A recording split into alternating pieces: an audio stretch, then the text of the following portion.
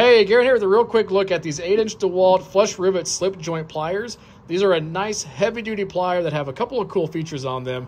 Uh, first of all, of course, is the slip joint, so you can adjust how far you need these uh, to open up. So you can put them on, you can flip uh, into either side here. So if I can do this one-handed, there we go, open them up. So we can get a wider grip on them or put them back down into the smaller grip so we can uh, grip tinier things like this. But it also has a flush rivet on the back, which is really cool. Kind of makes some uh, snagless on the back. Uh, just kind of a nice smooth back on this. So it slides in and out of your toolbox and everything really easy. And of course, it's just got some high quality uh, DeWalt quality built into them. You got some rubberized grip on these, so they feel really good in the hand. A good durable tool. I'm never worried about breaking these. I've never had any problems with them with the quality of the durability. Uh, just a nice high quality higher end set of pliers that I can absolutely recommend to anybody who is looking for another set of pliers and they're looking for something with a little extra, a little extra quality built in.